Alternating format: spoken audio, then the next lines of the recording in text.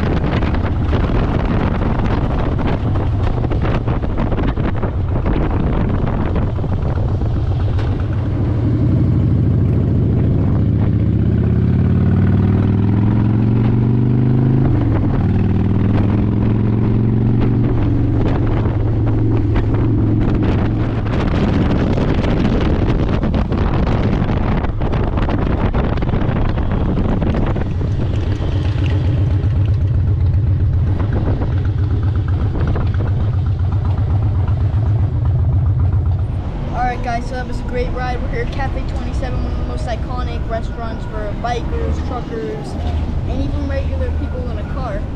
Uh, it's well known. It's on Highway 27 that goes all the way up the East Coast. So uh, I hope you enjoyed the video. Please make sure to like and subscribe. Bye, guys.